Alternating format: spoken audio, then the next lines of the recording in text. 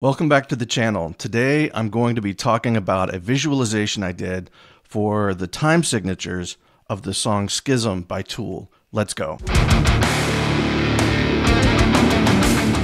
The very first thing that I wanted to do was find a good source of data. So I found some sheet music for the drum part of the song on MuseScore from this user Oscar J08. And the sheet music contains the bars and also the time signatures for those bars, which was the source of the information that I used. So following through this, I was able to locate each of the bars and determine the time signature. And then I created a data table of the bar, so 1, 2, 3, 4, 5, etc.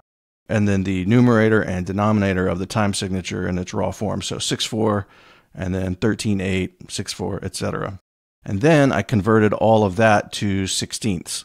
And uh, then I have a column here for determining whether or not that value is different from the one that precedes it. And I'll get to that in a minute, but I use it for part of the visualization. So if you'd like to get your hands on the data, I have it available on my GitHub. Also on the GitHub repo is uh, the set of information, the, the files, etc., for the Quarto Markdown file that I use to generate the, uh, the output. So there's a tool.qmd file. You can get that. There's also the tool.html file, which is what creates the, the end result. And the data file is in there as well. So we can take a look at that really briefly. There's not a lot to it, but let's take a look. So now we're in the RStudio IDE and I have the uh, QMD file pulled up. And at the very top, there's a header. If you're not familiar with Quarto Markdown, there's a little block up here that tells it uh, the title and then a few settings. So here I just suppress the warning and echo.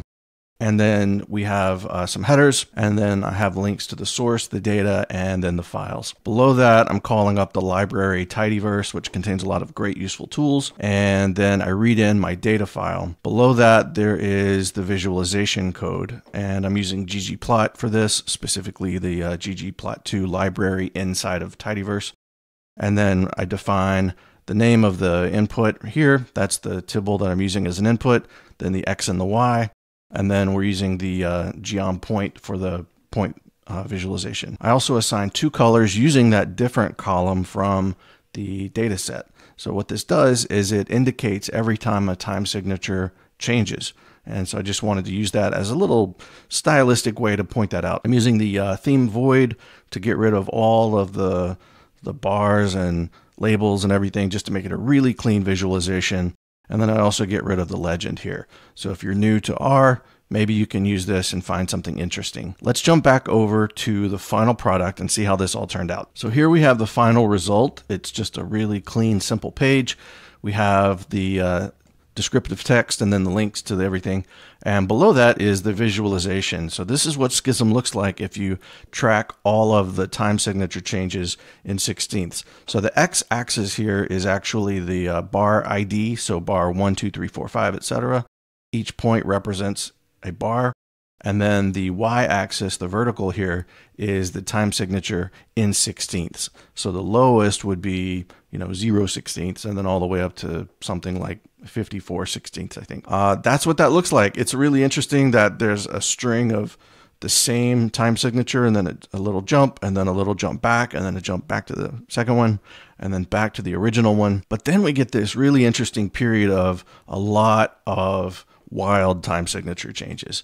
So it's just really interesting to see this as a visualization because it very clearly highlights that about three quarters of the way into the song, uh, Danny Carey, the drummer, is just all over the place.